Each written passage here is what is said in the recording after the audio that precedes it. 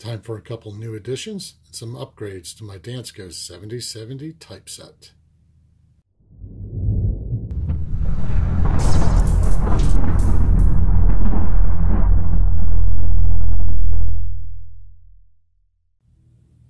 Hey everyone, Silver Steeler here. And Winning Image Photography. So I've got two new additions and three upgrades to do to the Typeset 7070 Dansco album. And my midnight run number two, I picked up a 1929 half cent. We'll get a look at these a little bit closer here in a second. An 1876S seated Liberty quarter. And I've got an upgrade to do to a peace dollar, an upgrade to do to a Morgan dollar, and an upgrade to do to the Silver Eagle. And what maybe the Silver Eagle might not be so much of an upgrade, but it's because of going to that midnight run for my LCS number two that he sold me, well, he owed me a full tube of Eagles, which he gave to me. And then I bought the 19 he had at the store, leaving me one shy from a full tube. And I've had these 10 1996 American Silver, Silver Eagles laying around that I never really counted part of my monster box because of the date.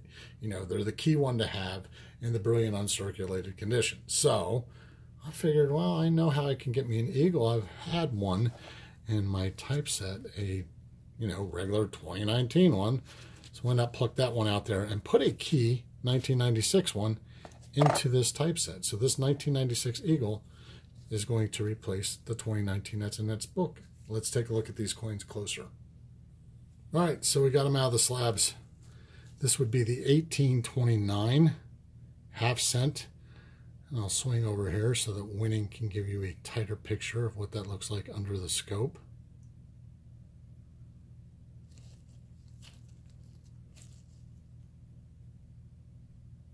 Very nice. Probably my oldest United States coin now. So this is definitely a hole filler for now. And then we have an 1876 seated Liberty quarter. This is from San Francisco.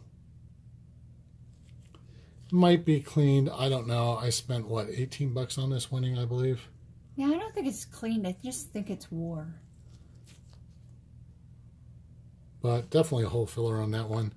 Here again is the 96 American Silver, Silver Eagle we plan on throwing in there. and we getting that 2019 out so I can have my another tube. And this right here is just a beautiful 1923 peace dollar. It's going to be a serious upgrade from that 1928S that is in there. And I'll just throw the S in the tube of peace dollars and Morgans that I have off to the side. And a 1903 Philly. Beautiful. So let me show you real quick before we pop these in. The upgrades, what they'll look like, the old coins before you don't see them again. Two of them right there. I believe that's an 1887 Philly Morgan, and that would be in 1928 San Francisco Peace Dollar. I just want that side to be as shiny as can be. So let's get that replaced. And of course the Eagle that I need to complete tube number 22 sits right there and will be replaced by a 1996 American Silver, Silver Eagle, a key date one. So, you know, that'll be cool. I'll be right back with them in the book. All right, we got them in the book. There's my classic head half cent, the 1829. So I still have some damage to do to those half cents and large cents. But the rest, I'm starting to get there. Got some damage doing the half dimes up there yet. I don't believe I've done anything with this page on this video. But I did on the quarters.